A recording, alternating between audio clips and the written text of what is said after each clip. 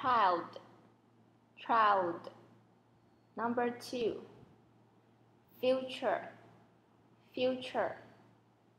Number three, catch, catch. Number four, gentle, gentle. Number five, joke, joke.